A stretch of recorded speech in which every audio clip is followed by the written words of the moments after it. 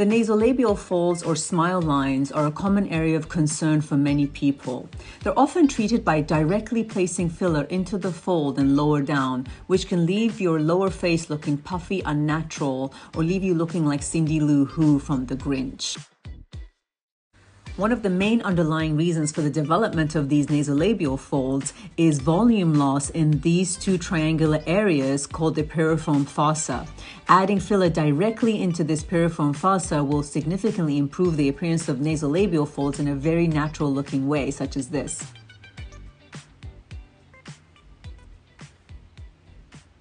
Care and caution must be taken when injecting this area. The angular artery runs very close to the piriform fossa, and there is a real risk of vascular occlusion. Using real time ultrasound guidance as well as a cannula significantly reduce the risk.